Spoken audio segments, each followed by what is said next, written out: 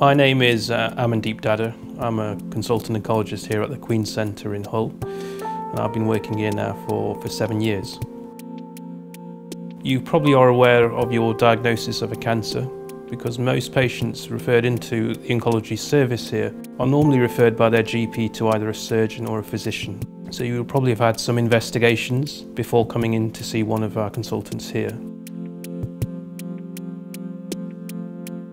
So on your first appointment here in the Oncology Centre, you would normally see the consultant. They would talk through what has happened to date. They will also talk through what investigations you may have had already. And during that consultation, we will normally agree a plan of treatment. So that would be to discuss what further treatments you may require. But we will also discuss any other, other treatments that you may require, for instance, drugs or medications to control any symptoms you may be experiencing from your disease. So during your consultation, it is likely that we will go through the consent for treatment. So we would normally give you detailed written information about what treatment you're due to receive. This would also be backed up by talking through the treatment during your consultation. And we would normally ask you to look at a consent form. You don't necessarily need to sign the form on the day,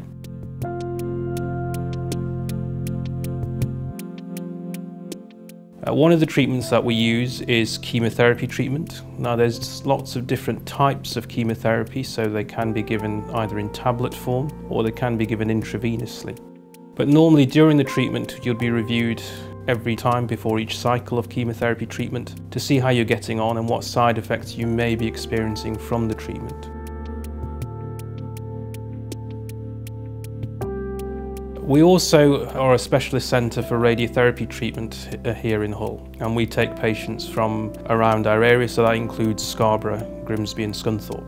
Now radiotherapy is X-ray treatment and it's a treatment that's used for localised areas of disease. X-rays are invisible and painless so you don't have to worry about that and a lot of patients are also worried about radioactivity so I can also reassure you that radiotherapy is very safe and doesn't make patients radioactive as such. Uh, the treatment is normally given daily, so it's likely that you would be coming every day, and the length of treatment is determined by the area of the body which we are treating. Normally during your radiotherapy, if you have any side effects, you would be reviewed by either one of our medical staff or nursing team. And normally once your treatment has been completed, we'd see you back in clinic to see how you've got on.